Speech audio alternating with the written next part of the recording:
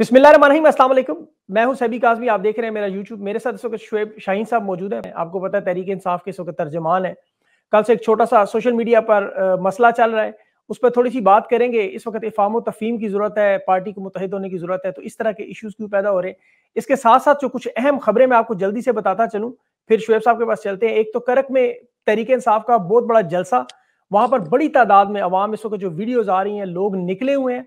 और उन्हें ताकत के ज़ोर पर रोका जा रहा है। वहाँ ए को मुकम्मल फ्री हैंड मिला हुआ है और तरीके इंसाफ के साथ बाकायदा तौर पर स्टेट की तरफ़ से जो सख्तियाँ और जो एक सिलसिला नौ मई से अभी तक चल रहा है, वो उसी सिलसिले में शिद्दत आई हुई है। उस पर भी हम इनसे सवाल करेंगे और इसके साथ साथ जो आर्मी चीफ अभी आपको पता लाहौर में है एपेक्स कमेटी से उनका एक इजलास से बड़ी अहम मुलाकात के किसी किस्म की सरगर्मियाँ जो गैर कानूनी सरगर्मियाँ, उनकी इजाज़त नहीं देंगे। और राना सनाउल्ला साहब का एक बयान आया कि जो लोग 9 मई में मुलविस हैं, उन्हें किसी सूरत में इलेक्शन लड़ने की इजाज़त नहीं दी जाएगी।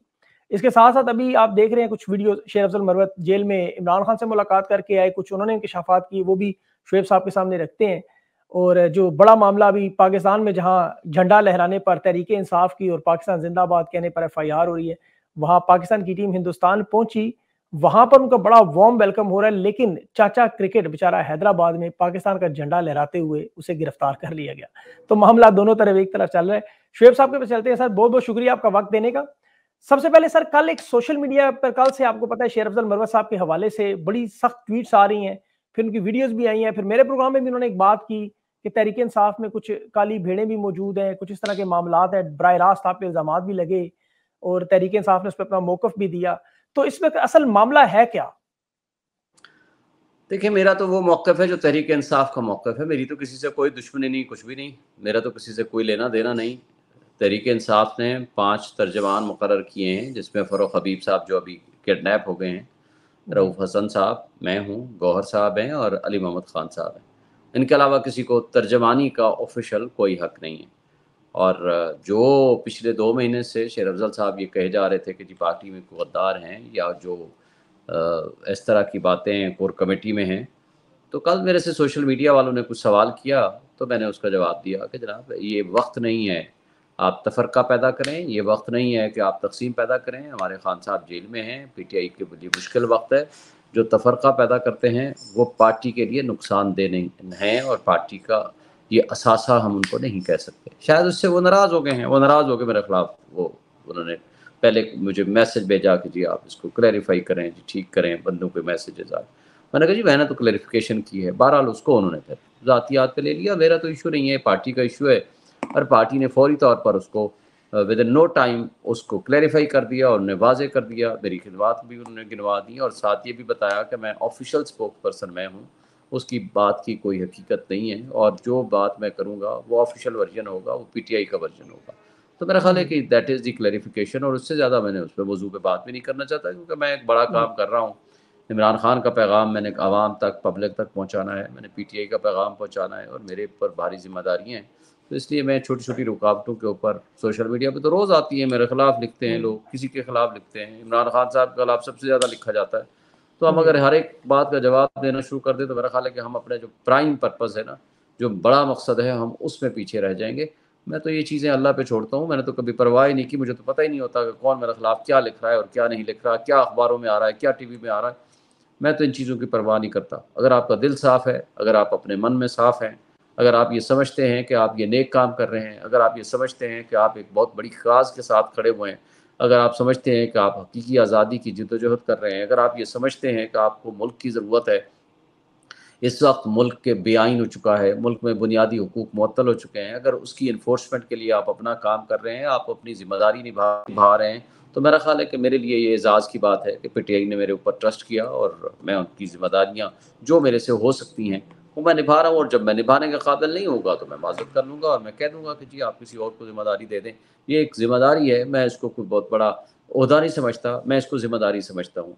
और जो ज़िम्मेदारी जब तक मैं अदा कर सकता हूँ, मैं अपने तौर पर नेक नीति के साथ मैं कर रहा हूँ और इन मैं करता रहूँगा। बिल्कुल सही। नहीं, आपका बड़ा अच्छा सर स्टांस है, ये बड़ा अच्छा फॉर्म तफीम का पैगाम है, आपने इसको बड़े अच्छे तरीके से जो हैंडल भी किया अभी उनका जो स्टांस है, जो मेरे प्रोग्राम में बात की, वो चाहते हैं कि तहरीक इंसाफ थोड़ी सी एग्रेसिव पॉलिसी की तरफ़ आए, जो इस वक्त वर्कर भी देख रहे हैं ग्राउंड पे कि आपके साथ ज्यादतियाँ हो रही हैं, जुल्म हो रहा है, उस पर एक प्रॉपर तहरीक चलनी चाहिए, लोगों को सामने आना चाहिए और वो चाहते हैं खुल के जो है वो, आप क्या समझते हैं कि खुलकर इस वक्त तरीके इंसाफ को मैदान में मुकाबला करना चाहिए या जो इस वक्त slow and study wins race वाला काम है, वो मामला बेहतर है? देखें, उसकी वो पॉलिसी मेकिंग में तो वो नहीं है ना। पॉलिसी मेकिंग या कोर कमेटी ने करना है या पॉलिसी मेकिंग इमरान खान साहब ने देनी है। तो जो इमरान खान साहब की पॉलिसी है या जो कोर कमेटी की फैस पॉलिसी है, वो पार्टी पॉलिसी है। तो जो पार्टी पॉलिसी होगी, उसके ऊपर हम अमल दरामद हम भी कर रहे हैं पार्टी भी कर रही है और इन ताला बेहतर होगा। और जो एग्रेशन है, उसका अंजाम नौ मई के वाक़े से आपने देख लिया। वो कि ये अलग बात है कि हमारे वर्कर्स को ट्रैप किया गया और करने वाले कोई और थे। और उसका जो हमारे लोगों के ऊपर जुल्म और जबर बरबरीत पैदा की गई और जो हालात पैदा किए गए, आज मैं समझता हूँ कि ये बदतरीन हालात हैं। हमें इसमें हमत मसलहत और उसके साथ साथ तदब्बर की भी साथ साथ ज़रूरत है। सिर्फ़ आँखें बंद करके हमें वो काम नहीं करना जिसके ज़रिए हमारी पार्टी को नुकसान हो, जिसके ज़रिए हमारे चेयरमैन को नुकसान हो या हमारी लीडरशिप को नुकसान हो या हमारे किसी वर्कर को नुकसान हो। बहरहाल ये पॉलिसी डिसीज़न है। मैं तो एक तर्जमान हूँ। मैं one of the member of the core committee हूँ। लिहाजा जो फैसले मुश्तर तौर पर होते हैं जो फैसले पार्टी करती है या जो फैसले चेयरमैन साहब करते हैं हम उसको अमल दरामद करते हैं। बिल्कुल दुरुस्त फरमाया आपने। लेकिन अभी सर एक छोटा सा एक सवाल ये पैदा होता है। पार्टी अब आपकी तो रही नहीं। जितनी भी आपकी लीडरशिप है मैं काउंट कर रहा था उंगलियों पे भी आपकी सवाल के दौरान। कोई बंदा ऐसा बाहर नहीं रहा जो 9 मई से पहले हो। आप हैं, शेर अफजल हैं, मुख्तलिफ़ लोग। 9 मई के बाद बुकला नज़र आ रहे हैं। उसके अलावा जो पार्टी की लीडरशिप है, आपके चेयरमैन जेल में है, वाइस चेयरमैन जेल में है, सदर जेल में है, आपके तमाम अहदेदार इस वक्त जेल में है या रोपोश है। तो पार्टी तो अब आपकी तकरीबन न होने के बराबर है। तो ऐसी सूरत हाल में अब कौन सी आपकी मुफाहमत या मुजाकर या इस तरह के मामला हैं जिसको अब आप बचाया जा सके? अब तो लुटाने को कुछ रहा नहीं। तो ऐसे मौके पर खुलकर खेलना ज़्यादा बेहतर नहीं है। अब बचे कुछ नहीं है आपके पास। नहीं तो किसने कहा है कि खुल के ना खेलें? हम तो कहते हैं, लेकिन उसका ये मतलब तो नहीं है ना अपने वर्कर्स को जा करके जेलों में बंद करा के आ जाएँ। और उसका ये मतलब भी नहीं है कि जो पार्टी है, वो पार्टी के कोर कमेटी के जो मेम्बरान अंडरग्राउंड हैं, वो सारे बैठ के वो फैसला करते हैं और वो सारे अपनी मीटिंग्स अटेंड करते हैं थ्रू सोशल मीडिया जूम के ऊपर मीटिंग्स होती हैं और जो पॉलिसी डिसीज़न आता है, वो हमारे इंफॉर्मेशन सेक्रेटरी हैं और वो तर्जमान भी हैं, रऊफ़ हसन साहब, वो मीडिया के ज़रिए सबको इन्फॉर्म करते हैं। और ऑफिशियली फिर मीडिया पर्सन के तौर पर, यानी फोकल पर्सन के तौर पर या तर्जमान के तौर पर फिर मैं कहीं प्रेस कॉन्फ्रेंस की ज़रूरत होती है तो फिर मैं वो भी करता हूँ। ठीक है, आपका चले सही है, आपका स्टांस है, आप बेहतर समझते हैं, आपकी पार्टी है। अच्छा सर, इसके अलावा एक बड़ा इंपॉर्टेंट सवाल अभी शेर अफजल, चूँकि इमरान खान के भी वकील हैं, वो अभी मिलकर भी आए हैं। ज़ाहिर उनकी तरफ़ से जब इस तरह की बात आए, फिर सवाल बनता है। उन्होंने कहा, इमरान खान की तरफ़ से कुछ पैगाम भी उन्हें मिले हैं। फिर अभी इमरान खान के ऊपर जो नशावर अद्वियात की वो कोशिश कर रहे थे जेल में, वो एक मामला है, फिर उनका साइफर का मामला है, केसेस भी चल रहे हैं। तो आपको क्या लगता है, खान साहब को ये कितना अरसा ज़्यादा से ज़्यादा जो है वो जेल में रखना चाहते हैं? देखिए, पहली बात तो यह है कि ये जेल में रखने के लिए तो उनके पास कोई जवाज़ नहीं है। पहले वाले केस में जिसमें उठाया गया था ज़मानत हो गई है। दूसरे साइफ़र वाला केस उनमें डाल दिया गया और साइफ़र में भी ज़मानत पिछले दो हफ़्ते पहले, महीना पहले हो जानी चाहिए थी। दो साल की सज़ा है जो कि काबिल सज़ा जुर्म है। और ये साइफ़र का बनाया जाना केस ही ग़ुलामी की बदतरीन मिसाल है, जिसने एब्सोल्युटली नाट कह के अपने इकतदार को एक लिहाज से लात मारी और उसने आज़ादी का नारा लगाया और उसने मुल्क की सालमियत और ख़ुद मुख्तारी का दिफा किया। उसके मद्द मुकाबल शबाज शरीफ ने कहा beggars are not choosers Khawaja Asif ने कहा, अमेरिका हमारा वेंटिलेटर है। और उस साइफर के नतीजे में जिस तरह जीम चेंज ऑपरेशन हुआ, और मैं समझता हूँ कि ये ग़ुलामी की बदतरीन मिसाल है। यानी जिसने मुल्क की खुद मुख्तारी का दिफा किया, उसको आपने मुलजिम बना दिया। जिन्होंने ग़ुलामी का तोक़ गले में डाल के हुक्मरानी ली और मुल्क को तबाह बर्बाद कर दिया, उनको आपने मुनसिफ और मुद्दई बना दिया तो ये बदकस्मती है। और हमारे ये जिसको कहते हैं ना ग़ुलाम कौमों की निशानियाँ तो हैं कि जो अपने हीरोज़ को इस तरह की सज़ाएँ देते हैं और जो अपने गद्दार होते हैं और उनके साथ उस तरह का सलूक करते हैं कि जो कि नहीं होना चाहिए था। तो बहरहाल ये सारी चीज़ें आपके सामने हैं। इसमें कोई ज़्यादा देर नहीं है। बहरहाल अभी ये डिपेंड करता है चूँकि हमारी इस्टेब्लिशमेंट हमारी मुखालिफ है, हमारे लॉ इन्फोर्समेंट एजेंसीज हमारी मुखालिफ हैं, सारी केयर टेकर सेटअप्स हमारा मुखालिफ है और जजेस जो इन केसेस को सुन रहे हैं वो बहुत कम्प्रोमाइज हैं। तो अफसोस से कहना पड़ता है तो अगर ये सारा फ्री एंड फेयर ट्रायल हो अपॉर्चुनिटी ऑफ़ फेयर ट्रायल दिया जाए। अच्छा सर, अभी इसके साथ एक और बड़ा अहम मामला जो काजी फायज साहब सुन रहे हैं, फैजाबाद धरने का केस उस पर तहरीक साहब नज़र सानी की जो अपील अभी वापस ली है, बैरिस्टर साहब हैं आपके, उन्होंने अभी वापस ले ली अपील। काजी फायज साहब उस पर बड़े नाराज़ भी हुए कि उस पर फैसला बाकायदा तौर पर दिया गया है। अब उस पर तहरीक इंसाफ का मौकफ क्या है? आप क्या समझते हो उस फैसले के मुताबिक? देखिए मैं तो ये समझता हूँ हमने तो पिछले हफ़्ते मैंने प्रेस कॉन्फ्रेंस भी की थी कि ये बेहतरीन केस है बेहतरीन फैसला है इस पर अमल दरामद पहले होना चाहिए था आज भी अगर हो जाए तो मैं समझता हूँ कि पाकिस्तान का रुख बेहतरी की तरफ़ चल पड़ेगा। जो इदारे हैं वो अपने हदूद में रह के काम करें और लॉ इन्फोर्समेंट हो एजेंसीज़ हों या हमारी इंटेलिजेंस एजेंसीज़ हों या हमारे इस्टेब्लिशमेंट हो वो सियासत में मुदाखलत ना करे। ये बेसिक उसका थीम है। और उस थीम के ऊपर और लोगों के बुनियादी हकूक़ किसी सूरत मअतल नहीं हो सकते। और तमाम रियाती इदारे वो बुनियादी हकूक़ के तहफ़ के लिए एफ़र्ट्स करें। अगर इन फैसलों पर अमल दरामद हो जाए तो आज देखें और कई लोग हैं कुछ जेलों में बंद हैं पंद्रह पंद्रह दफ़ा ज़मानतें हो जाती हैं ख़वातीन समेत उनको उठा करके हम्म। दोबारा बंद कर दिया जाता है। लोगों को उठा करके अदालतों में पेश नहीं किया जाता। तो ये सारी चीज़ें जो हैं, हम देख रहे हैं और ये काबिल अफसोस बात है कि हमारे मुल्क में इस तरह की सिचुएशन फेस करनी पड़ रही है, जो कि मैं समझता हूँ इस्लामिक रिपब्लिक ऑफ़ पाकिस्तान में ये होनी नहीं चाहिए थी। बहरहाल ये चीज़ें हैं और हम इनको फेस कर रहे हैं, लेकिन ये बड़ा अहम फैसला है। अगर इस पर अमल दरामद हो जाए और मैंने भी आज रिक्वेस्ट की है कि हम इसकी अमल दरामद चाहते हैं ताकि आज की जो सिचुएशन है और ऑब्ज़र्व भी किया है, बल्कि कोर्ट ने कि आज भी सिचुएशन जो वर्स्ट हो चुकी है, उसके बारे में भी क्या राय है। मेरा ख्याल है कि जब ये फैसले का अमल दरामद का वक्त आएगा तो मेरा ख्याल है कि उसके ऊपर हम ये बात भी करेंगे। बिल्कुल सही। अच्छा राना सनौला साहब ने एक बयान दिया कि 9 मई के हवाले से जो लोग इसमें शामिल हैं, उन्हें किसी सूरत में इलेक्शन नहीं लड़ने देना हमने। तो आप लोग क्या समझते हैं कि ये आपको इलेक्शन इस वक्त लड़ने देंगे? इस तरह के हालात में आप तो तारीख अनाउंस होगी ऑलमोस्ट आप लोगों की तैयारी भी कंपेन का सिलसिला टिकट होल्डर्स इस वक्त तो लग तो ऐसे रहा है कि वकला को ज़्यादा टिकट मिलेंगे। तो इस पे अब आपकी जो पार्टी है, क्या इसका आपका लाइमल प्लान क्या है आपका? देखिए, पहली बात तो यह है कि मुझे ये बताएँ कि क्या राना सनाउल्ला साहब वो इलेक्शन कमिश्नर हैं? या इलेक्शन कमीशन ऑफ़ पाकिस्तान हैं? या सुप्रीम कोर्ट या किसी हाई कोर्ट के चीफ जस्टिस हैं? या वो इस वक्त उनके पास अथॉरिटी क्या है कि वो ये फैसला करें कि हमने फ़लाँ को इलेक्शन लड़ने देना है और फ़लाँ को नहीं लड़ने देना। आइन और क़ानून बड़ा वाज है।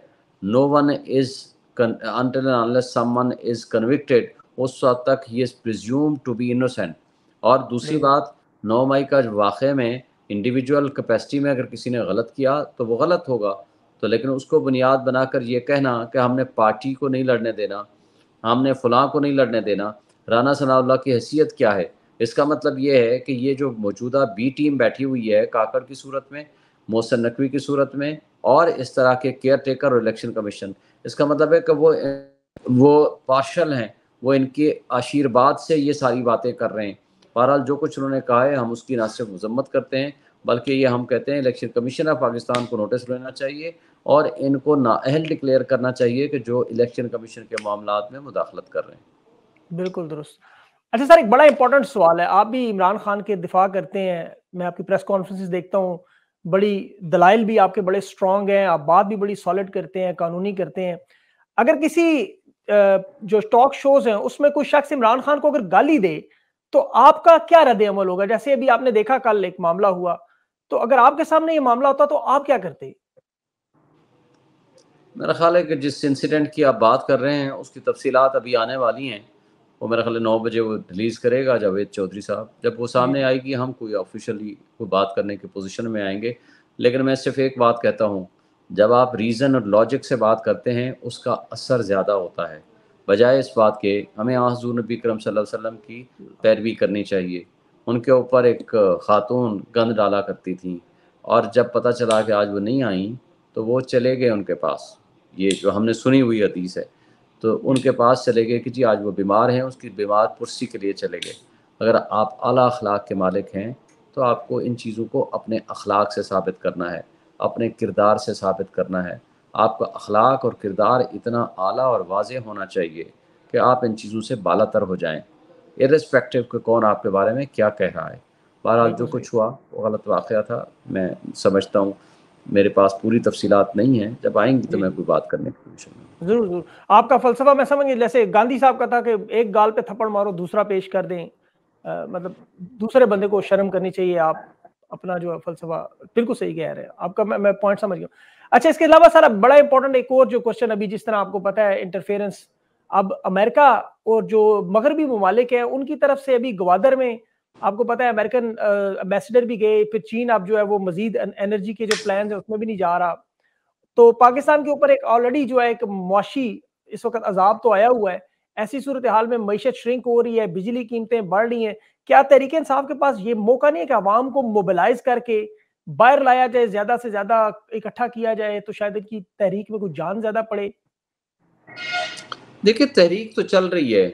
लोग जितनी इनसे नफरत करते हैं, वो सबको पता है। लोगों को राइट ऑफ़ वोट इसलिए नहीं दिया जा रहा। अगर इनको पता होता कि ये जीत सकते हैं तो ये साठ दिन होता कि ये जीत सकते हैं तो ये नब्बे दिन में इलेक्शन कराते। ये इलेक्शन से क्यों भाग रहे हैं? सिर्फ़ इसलिए भाग रहे हैं कि इनको आने पोजीशन में ही नहीं है। इनके पास ऑप्शन ही कोई बाकी नहीं रहे। दैट इज़ दी ये भाग रहे हैं इलेक्शन से। मैं ये समझता हूँ कि लोग मोबलाइज हैं, लोग चार्ज हैं, लोग इनकी शक्ल नहीं देखना चाहते। पीडीएम की तमाम जमातों से शदीद नफरत करते हैं और केयर टेकर सेटअप जो है वो वो उन्हीं की एक्सटेंशन है।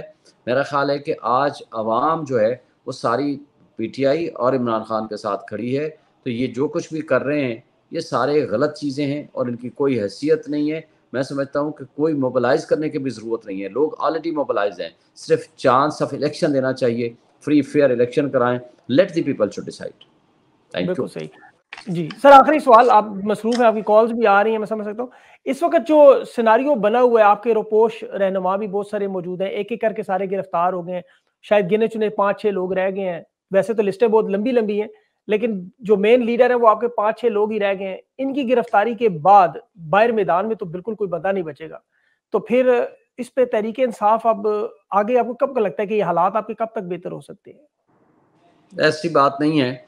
हर हल्के में कई एक से जायद कैंडिडेट्स हैं और हम समझते हैं कि कोई फ़र्क नहीं पड़ेगा। जिस दिन इलेक्शन का माहौल होगा लोग खुद निकल के आएँगे। इन्होंने इलेक्शन करा के देख लिए हैं। पिशावर का इलेक्शन देखें हवेलियाँ का इलेक्शन देखें अस्तौर का इलेक्शन देखें। आप ज़िमनी इलेक्शन के पी के वाले देख लें। सब में टॉप पोजीशन ली है पीटीआई ने। तो मेरा ख्याल है कि ये इनको पता है कि पीटीआई का वर्कर लीडर न भी होगा। लोग आवाम खुद निकलेंगे वो आवाम वोट भी डालेंगे। अवाम अपने वोट का तहफ़ भी करेंगे और इन ताला वो वक्त करीब है, आप लोगों को ख़ुद देखेंगे कि वो सारा कुछ निकल के आएँगे। और जिन लोगों को भी गिरफ़्तार किया है, मेरा ख्याल है कि इलेक्शन का जब माहौल होगा तो वो गिरफ्तारियाँ भी ख़त्म हो जाएँगी और वो अदालतें अपना रोल अदा करना शुरू कर देंगी। अच्छा सर, एक और चीज़, गैलप का सर्वे भी आया जिसमें पाकिस्तान आर्मी की अट्ठासी फ़ीसद जो है मकबूलियत, पंजाब पुलिस की इस वक्त तकरीबन चौवन फ़ीसद मकबूलियत और पीटीआई की मकबूलियत जो है वो साठ फ़ीसद रहनुमाओं में इमरान खान सबसे ऊपर है। लेकिन उनके बाद जो नीचे रहनुमा अगर आप देखें तो वो शायद ऐसे घर से भी वोट ना मिले। लेकिन क्या आप इस सर्वे से मुतमिन है, गैलप सर्वे से? देखिए, मेरा नहीं ख्याल कि ये गैलप सर्वे दुरुस्त हैं। अगर आप इनको दुरुस्त भी मान लें तो इवन देन टॉप पोजीशन बहरहाल पीटीआई की और इमरान खान साहब की है। लेकिन अगर आप ट्रू सेंस में गैलप सर्वे कराएँ तो आपको खुद अंदाज़ा हो जाएगा 80 से 90 परसेंट आबादी जो है वो पीटीआई और इमरान खान के साथ खड़ी है। आप किसी मार्केट में चले जाएँ, किसी जगह चले जाएँ, आपको खुद पता चल जाएगा, कोई बंदा नहीं मिलता जो इनके साथ खड़ा हो। तो ये सारी चीज़ें, ये जानबूझ के ऐसी को माहौल क्रिएट करने की कोशिश करते हैं कि जिसके ज़रिए ये पता चले कि इमरान खान की इतनी पॉपुलरिटी नहीं है, सिर्फ़ सात परसेंट है या सत्तर परसेंट है।